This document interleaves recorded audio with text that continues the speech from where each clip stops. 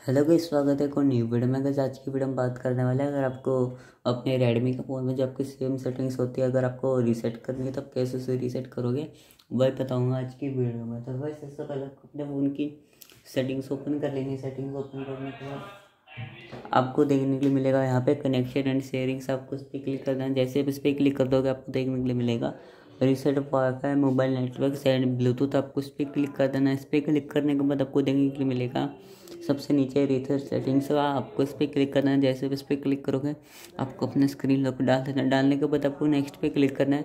Next पे click करने के बाद परमिशन मांगेगा, आपको ओके पे क्लिक कर देना है। और आपकी जो भी सेम सेटिंग्स होगी, वो इसलिए रीसेट हो जाएगी। तो कैसे इस तरीके से आप अपने रेडमी के फ़ोन में सेम सेटिंग्स को रिलेक्ट कर सकते तो मेरे आज की वीडियो पसंद नहीं वीडियो पसंद तो वीडियो को लाइक कर देना, चैनल को भी सब्सक्राइब कर देना।